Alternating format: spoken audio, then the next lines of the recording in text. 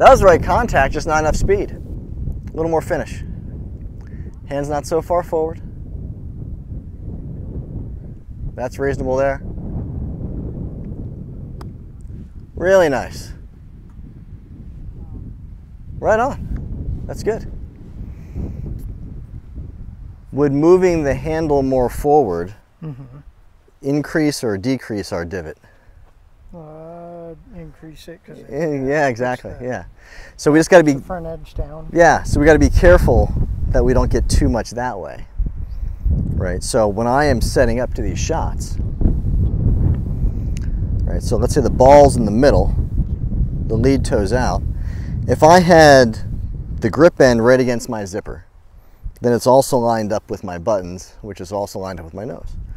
So from here, if I just put my arms across my chest and then took my nose and moved it ahead of the ball a little bit, where did my my weight go? Onto my front foot right, and then the amount that i'm leaning my body well that's the same amount that i want to Move the shaft. move the shaft right?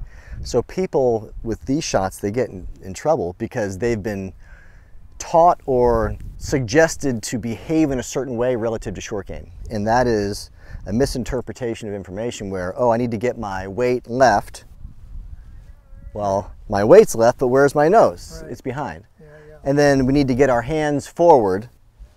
Well, what have I done? I've put the bottom of the swing behind the ball and I made the club a digger, right?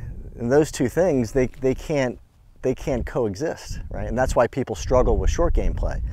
The club's hitting the ground somewhere where the ball is not, and then the leading edge is digging too much. So they get fat shot, fat shot, fat shot, and now they're afraid of hitting it fat, so they do something to avoid the ground and whack they hit it thin right? And that's why it's hit, miss, hit, miss, hit, miss.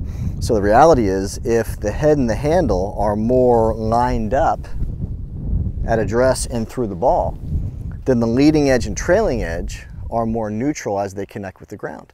So even if the bottom of my swing is a little bit early, well, I still have this skidding mechanism. So a less than perfect low point still yields a pretty reasonable shot, right? And that's the whole secret to, you know, upgrading or elevating your game. It's just setting up and then moving in a reasonable enough of way so that when you're not at your best, it's still pretty damn good.